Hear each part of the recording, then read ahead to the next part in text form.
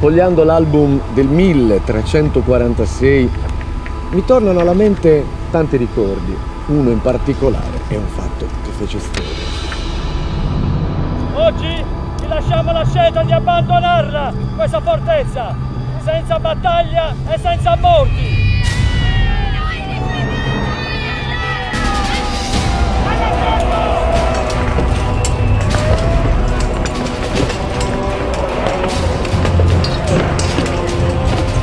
Questo dunque era quello che accadeva nel Medioevo, ma questa è la realtà, questa è solo una finzione, è una rievocazione storica, ma guardatevi intorno, è talmente ben organizzata, con talmente tante persone in costume che sembra davvero di essere nel Medioevo. Questa è la Bastida di Sorres, che come tutti gli anni accoglie decine e decine di turisti che per tre giorni vogliono entrare nella storia insieme a loro.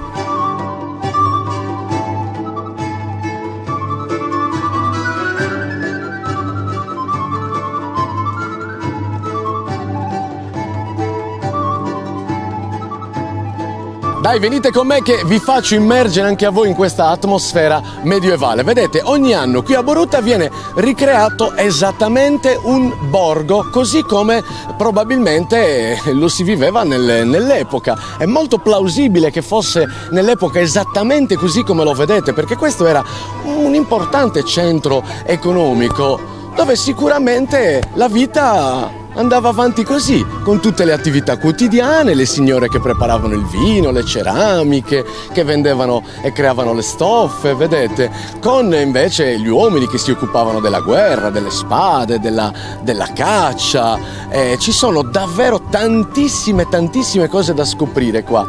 E questo è bellissimo perché non si tratta di una semplice esibizione.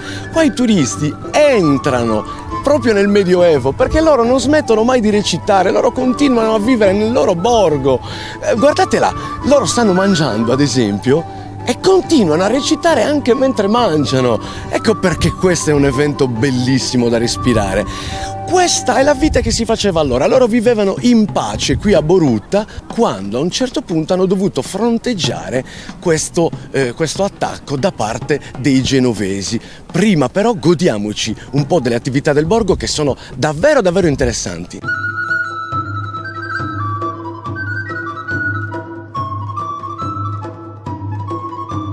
Amici, qua siamo in ospedale. Questa è una sala d'ospedale, chiamiamola così, o almeno qua ci sono gli attrezzi del chirurgo. Tu sei il chirurgo dell'epoca. Sì, in questo momento sto facendo il chirurgo. E sto questo cercando cos'è? di trapanare un cranio. No, veramente? Sì. Durante la costruzione di una basilica come quella era normale che le persone avessero incidenti, di- soprattutto per cadute. I chirurghi dell'epoca eh, avevano imparato prima di tutto a liberare le ferite dal sangue. E lo si faceva con E Lo questo. facevano con questo. Ma scusa, eh, allora non c'era l'anestesia, ma c'era un anestetico almeno. Allora, dai trattati che abbiamo visto dell'epoca abbiamo visto che i pazienti erano svegli, No. magari con le mani legate, No. però svegli. Diciamo così. L'anestetico dell'epoca era questo, Eh. un ferro rovente. Avevano le mappe corporee e loro bruciavano i punti che sapevano essere eh, anestetici per l'operazione che dovevano andare a fare. Quindi, per esempio, dovevano fare un buco in testa e allora loro andavano a bruciare alcune zone della fronte che distraevano dal dolore. E noi che oggi ci lamentiamo, fossimo nati in quei tempi, lasciamo il chirurgo che riprende a spiegare tutte le curiosità dell'epoca ai visitatori e ci fermiamo in un altro stand tanto per cambiare affollato di curiosi. Qua siamo invece in farmacia, vedete che c'è scritto farmacia e lei era farmacista dell'epoca che in realtà vendeva spezie perché ci si curava con l'alimentazione, con le spezie. Sì, per esempio con i semi di lino. E cioè? Con la farina di semi di lino si poteva ottenere un unguento mm, che serviva per aiutare la maturazione di un ascesso. Questo è il famoso zucchero di canna che noi vediamo nelle bustine, ma all'epoca era così, grezzo. Sì, era così, più che altro arrivava così in Europa perché si solidificava un po' durante il viaggio per via dell'umidità mm, che era presente nelle navi, quindi arrivava così, poi dopo nelle botteghe degli speziali lo si metteva nel- nei mortai, si pestava e quindi ritornava come prima. Tenete conto che tutte queste cose erano per i ricchi, per i nobili, perché il popolo non aveva accesso alle spezie. Erano molto costose, un po' come oggi andare in gioielleria a comprare appunto gioielli. Costavano tantissimo, un pugno di chiodi di garofano costava quanto un montone, quindi chi non si poteva permettere di mangiare sicuramente non comprava le spezie. Lasciamo solo per un attimo il borgo e le sue attività perché sono cominciati i balli medioevali proprio davanti alla chiesa.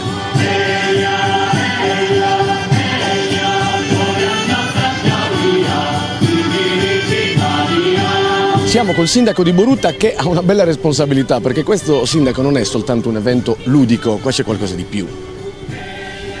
Sì, con la Bastida di Sorres eh, noi vogliamo promuovere il sistema turistico eh, di Boruta innanzitutto, ma del Melogu tutto.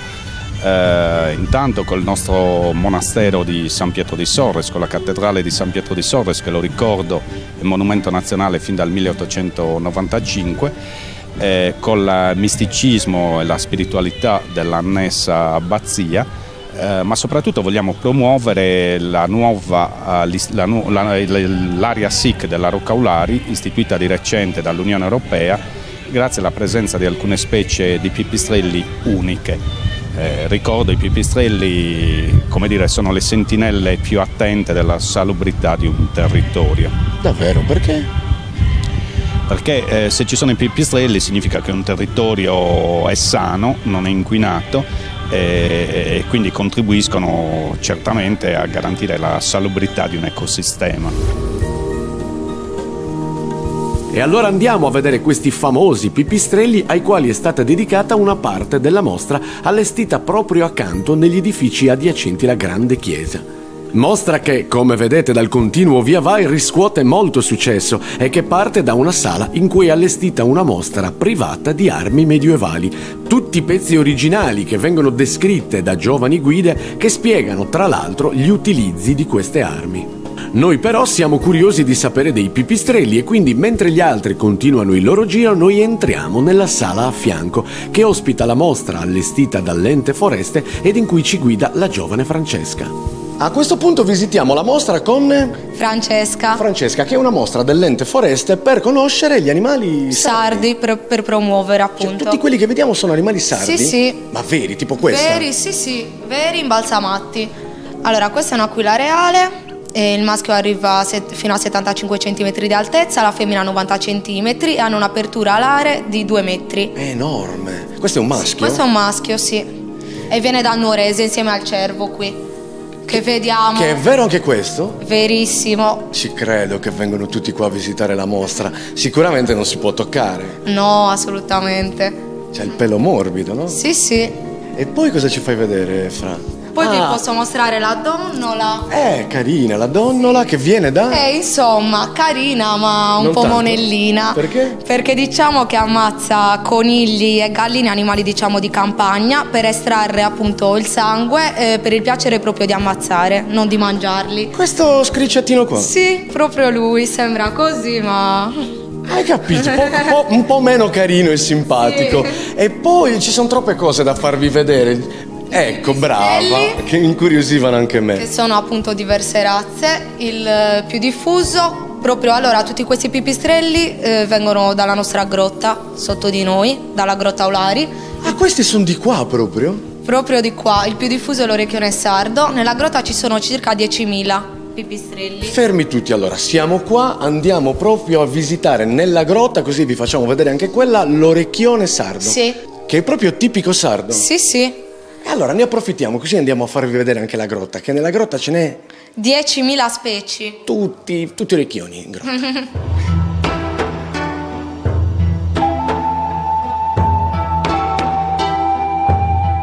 Proprio qui tra il borgo e il paese, quindi esattamente qui, i turisti possono visitare una vera e propria grotta di grande interesse che è proprio qua. Fate 30 secondi con noi di cammino ed entriamo nella grotta.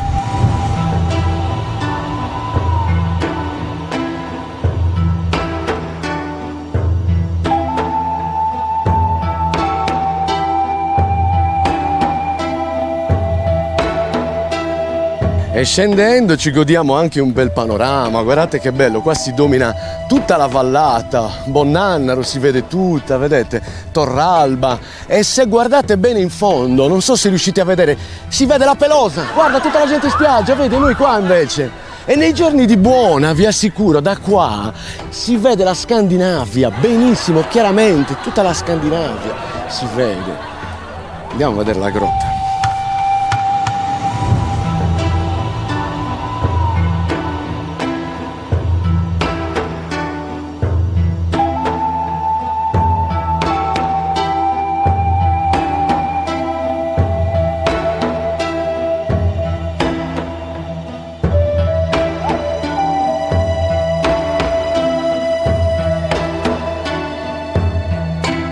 Ed eccola qua, questa è l'entrata della grotta, che non è neanche piccola, eh.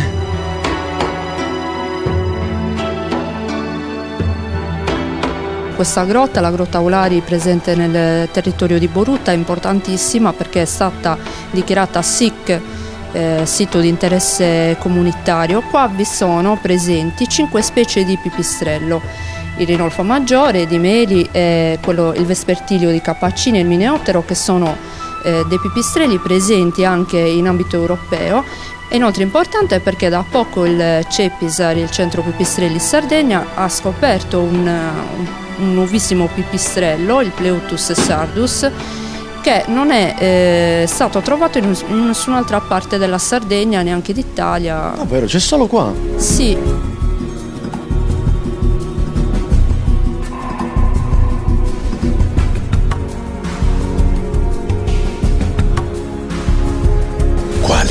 Grotta è proibito parlare e sto parlando praticamente soltanto io, piano piano, perché non so se li vedete, sono centinaia i pipistrelli che sono presenti qua dentro e se si svegliassero tutti insieme potrebbero anche essere pericolosi. Quindi zitti, osservate e basta. Guardateli se riuscite, sono davvero tanti, li vedete, li vedete che volano. Zitti, zitti anche voi.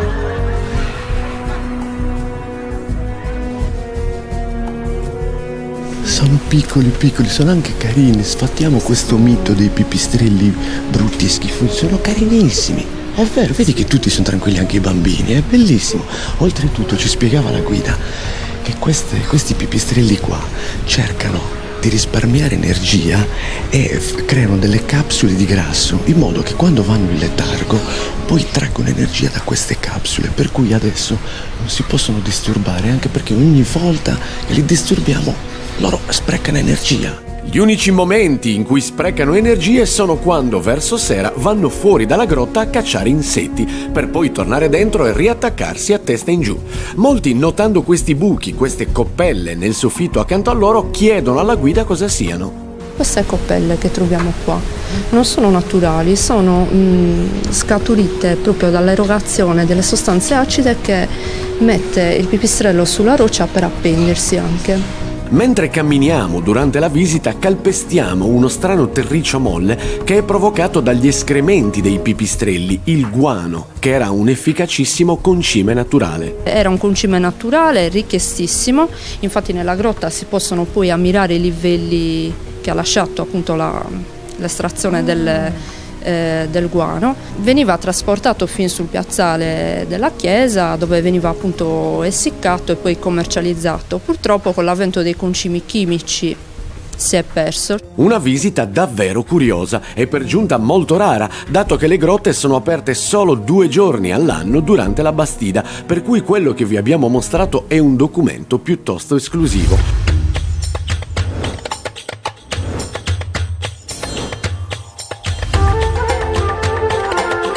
Ora però usciamo volentieri all'aria aperta e ci dirigiamo nella pineta proprio di fronte alla chiesa, dove l'organizzazione ha predisposto un'area picnic con pasti caldi o panini all'ombra della pinetina che si affaccia sulla bella vallata. Dislocati nell'evento anche tanti infopoint, alcuni eh, col personale con cui si può parlare, tanti però anche interattivi, questi piacciono molto perché come vedete i turisti in tutte le lingue possono visitare gli eventi, sapere quali sono, ma soprattutto i siti di interesse culturale, turistico e questo è carino insomma perché si hanno delle notizie anche storiche per chi le voglia avere. Una gita dunque divertente, ma per chi vuole anche istruttiva. E infatti con le notizie storiche apprese sui monitor degli infopoint, molti capiscono l'importanza storica di questo sito e soprattutto del grande monastero. L'ex cattedrale di San Pietro di Sorres, una bellissima chiesa romanica completamente intatta e ben tenuta dai benedettini che la abitano tutto l'anno e che ci portano adesso gentilmente a visitare sia fuori che dentro. Una chiesa molto importante perché fu la cattedrale della non più esistente diocesi di Sorres fino al 1503. I monaci ci tengono a farci visitare dapprima gli spazi verdi e i cortili esterni, ma soprattutto il grande cortile interno. Cortile abbastanza recente perché interamente realizzato e costruito dai monaci stessi che cominciarono ad abitarvi dal 1950 in poi. La passeggiata fra le piante e i fiori del giardino interno ci rilassano molto e ci permettono di rifiatare un attimo dopo i tanti eventi della mattinata, ma il relax dura ben poco perché gli appuntamenti del programma della Bastida hanno ripreso dopo la pausa pranzo e noi non vogliamo perdere nulla.